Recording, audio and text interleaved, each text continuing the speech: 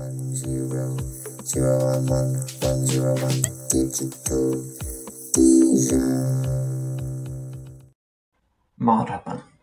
We've seen already how the sequential circuit design process can be applied to a couple different situations.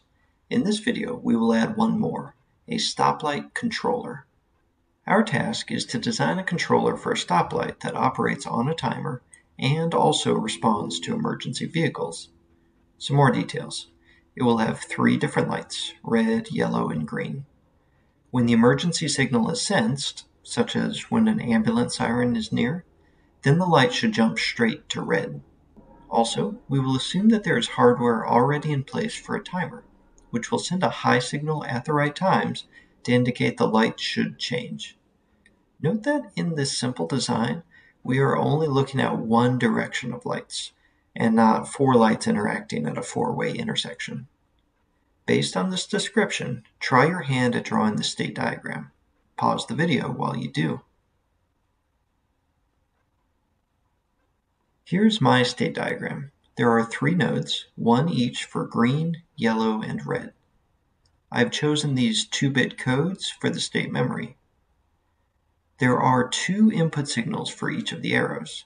The emergency input is indicated before the comma, and the timer input after, with one representing an active signal. In the case where neither input is active, the arrows loop back on the current state. Green stays at green, yellow stays at yellow, red stays at red. These would be the most commonly used arrows, right? A stoplight would make a quick change to green and then wait there for several seconds, which might be several thousand clock cycles, depending on the clock frequency. Any time that the emergency signal is activated, the light should change to red. This is why the 1, 0 arrows all point to red. Any time that the timer signal is activated, the light should move to the next light in the sequence, green to yellow, yellow to red, and red back to green. There is one input combination I haven't drawn, 1, 1. This would be the case when both the timer and the emergency inputs occur simultaneously. We certainly could explicitly design for that case, and would probably do so by sending the state straight to red. However, I'm choosing to consider those as don't care conditions for two reasons. First, it is very unlikely that those two inputs would occur simultaneously. Secondly, even if they did, and my design had a strange blip like jumping from yellow to green, that blip would only last for one more clock cycle, so maybe one thousandth of a second. On the following clock cycle, the emergency input would still be active and the light would turn red. With the real design work done in the state diagram, we move on to the procedure. This time I choose to use T flip-flops. At this point, try to make the next state table on your own. Pause the video while you do. Here is my completed next state table. Note that each state appears in three rows, three greens, three yellows, three reds. This is because there are three input possibilities, active timer, active emergency, or neither. The state diagram tells us exactly what each next state should be. For example, yellow turns to red when the timer signal is activated. And lastly, the T columns are determined by the changes in the corresponding flip-flop. In this row, Q1 toggles from 0 to 1. Therefore, T1 must be high. Take note of a nice feature on this table. There are four inputs, which means there will be 16 squares on the Karnaugh maps. But there are only 9 rows of the table. This means there will be 7 don't care conditions on every Karnaugh map. Take advantage of this as you try to derive the Boolean equations for T1 and T0. Here are my K-maps. I list the present state inputs at the top, then I fill in any don't care conditions. The state code 1, 1 never occurs since there's not a fourth light. Therefore, this whole row is X's, and that appears on the T0 table as well. Now I can fill in all the ones from the T1 column. This leads to the equation down here. The same process is repeated for the cases where T0 equals 1, and that leads us to this equation. But wait, didn't I say there should be seven don't care conditions? Yes, this is an intentional mistake in the slides. Well, mistake is too strong of a word. My equations are still correct, but are overly specific.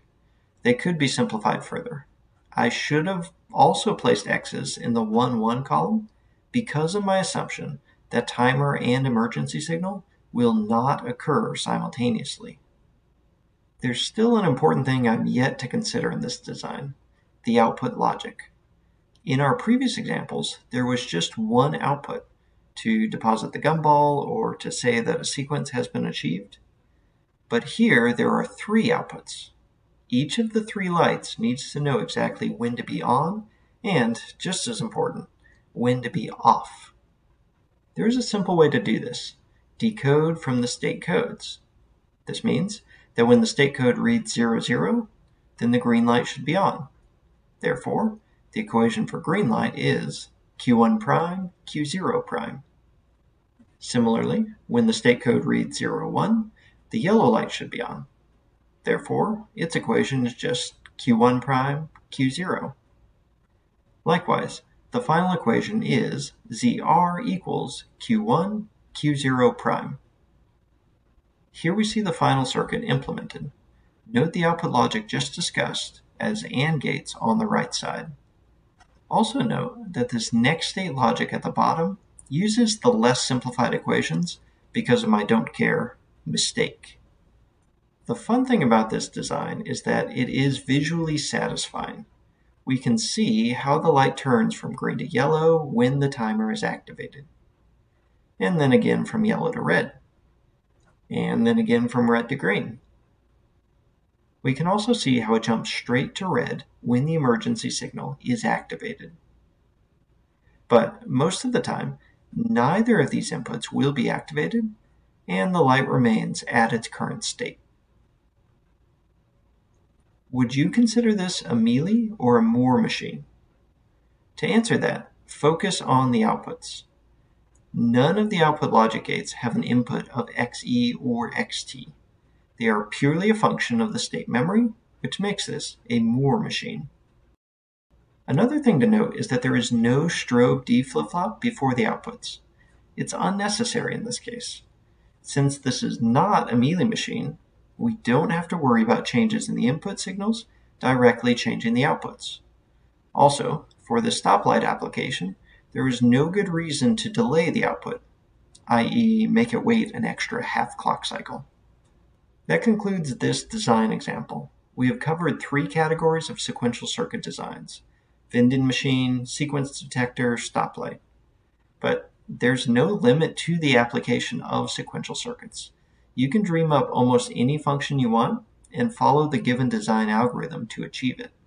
Keep in mind, however, that these examples were purposefully simple, only requiring a couple flip-flops for memory.